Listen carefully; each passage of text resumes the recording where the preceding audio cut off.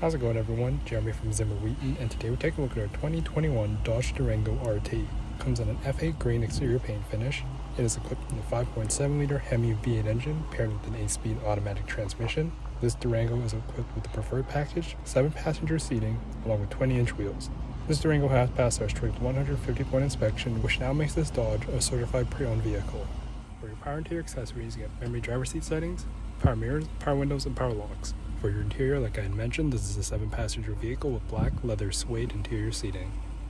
Taking a closer look inside now, on the left side of the steering wheel, get all your speedometer controls, along with your voice command and Bluetooth controls. On the right are your cruise control settings. Here's a view of the speedometer. For your media, it is a touchscreen display. It is also equipped with navigation, Apple CarPlay, and Android Auto. Your rear view camera.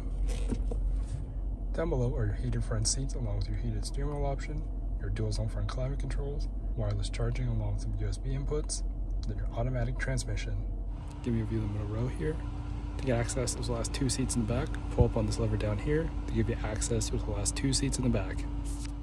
If you have any more questions on this Durango, check out the first link in the description or feel free to visit us here at Zimmer Wheaton where our product experts will be more than happy to answer any of your questions. My name is Jeremy. Have a great day.